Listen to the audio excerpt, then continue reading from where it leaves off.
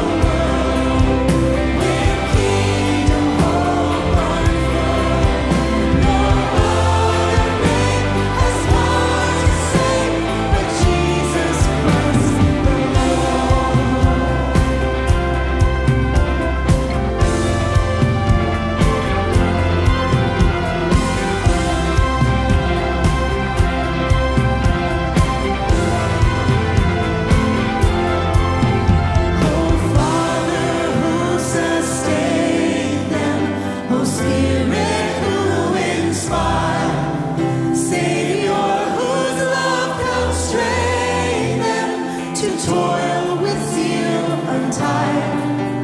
from